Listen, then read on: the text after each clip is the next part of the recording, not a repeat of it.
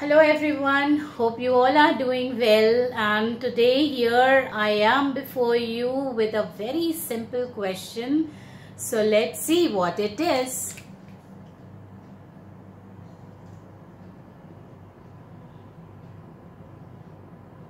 Mary ran quickly. Here is a statement. It is written a statement over here. And now your question is, can you identify a noun and a verb here in this statement?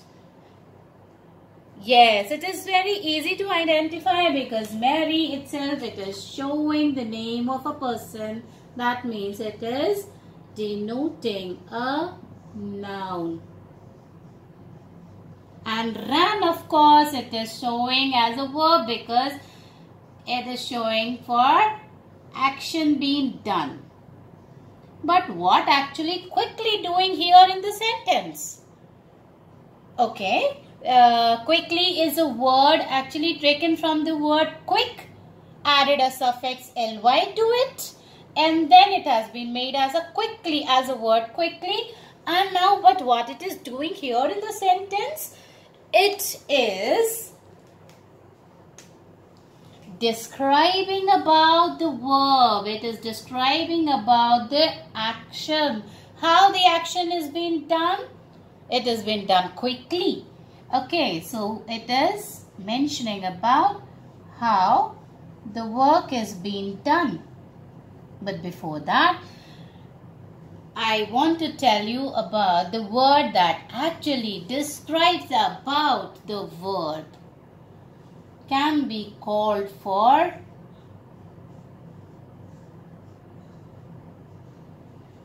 no no not verb it can be called when it is something is being added to the verb. It is describing about the verb. Then the word is called adverb.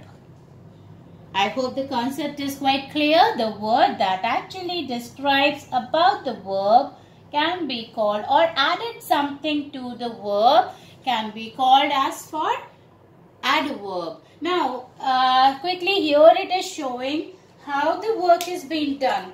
How means it is showing the manner of the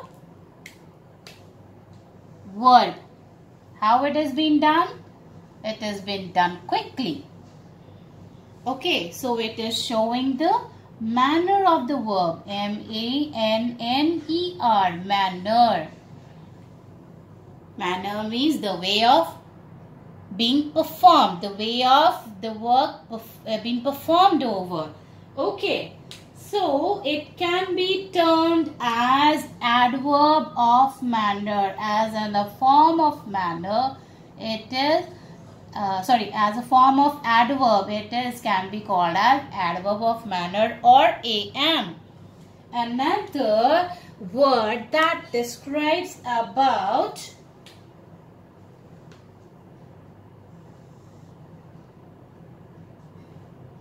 the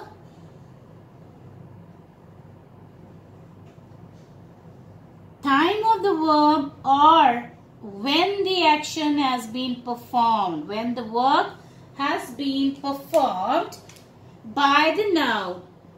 Okay, so it is defining another type of adverb that is adverb of time. Okay, adverb of time can also be called for AT, adverb of time a t. Okay? And then the last but not the least one though we have five kinds of adverbs but um, here in your uh, but what you want to know about what you need to know about is only three kinds of adverb that is how when and what can be the third one? Yes it is where where the action, where the word verb has been done. Okay, it is showing the place of the action being done. Okay. the place of an action being done. So it can also be called as for AP.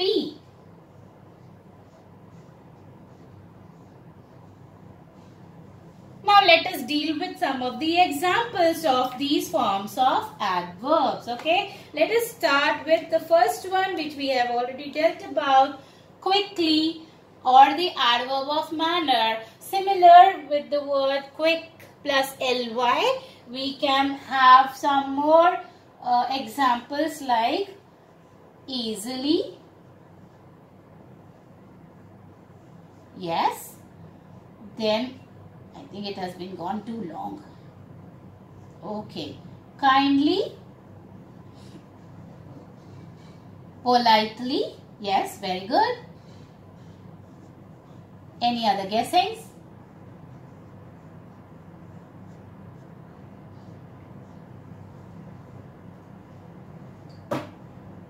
Here is an exceptional I want to tell you about. If we want to write the word fast, it can only be written as fast but not ly added to it. Okay, ly cannot be added to fast. Okay, fast will remain as fast if it is adverb of manner also.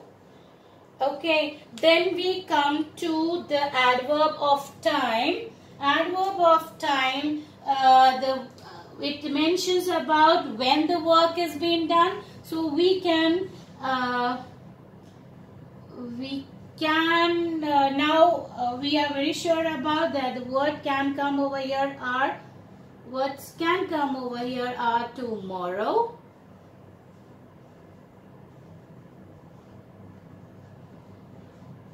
Today. Yes it is. The next is what? Yesterday. Like for example uh, the player played the match yesterday. Very well. Okay. And last but not the least is what AP the it shows that where the action has been performed. Okay so it can be called for AP some of the examples of adverb of place is like uh, here, there, everywhere,